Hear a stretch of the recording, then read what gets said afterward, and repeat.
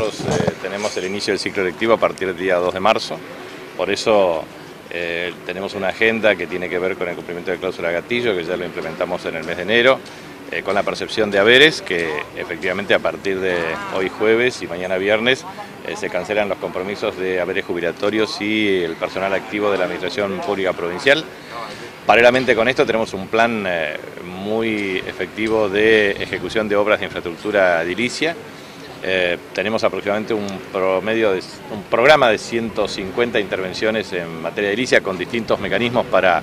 eh, construcción nueva, ampliación y remodelación. Ahora estamos aquí en el Lino Torre que va a tener un eh, enfoque de carácter integral, una remodelación desde cubiertas, pintura exterior, interior, instalaciones eléctricas, gimnasio, en fin, digamos, esto va a quedar en óptimas condiciones, vamos a hacer el máximo esfuerzo para que al inicio del ciclo lectivo pueda estar combinado, de lo contrario se adaptará en el transcurso de 30 a 45 días ulteriores. También estamos eh, por recorrer eh, en el balastro eh, un jardín de infantes que ya está en proceso de culminación, que se iniciará el ciclo lectivo también con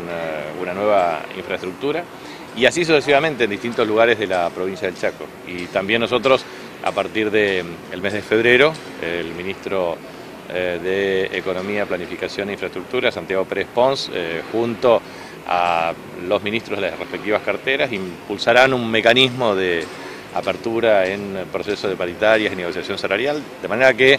conjuntamente con el tema de entrega de libros, computadoras, infraestructura de edilicia, eh, política salarial, eh, todos los incentivos necesarios para que el ciclo lectivo empiece el 2 de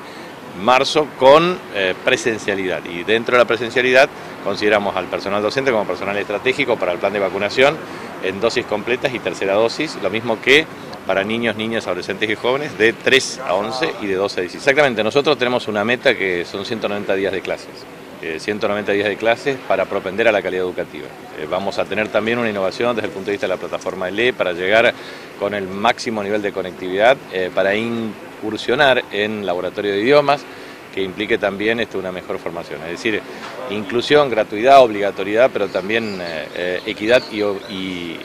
calidad educativa son desafíos que no son fáciles de implementar en el corto plazo, pero que es necesario hacerlo con el máximo nivel de esfuerzo. Por eso también el plan eh, de lectura y obviamente todas las eh, estrategias que eh, permitan tener un ciclo lectivo en las mejores condiciones.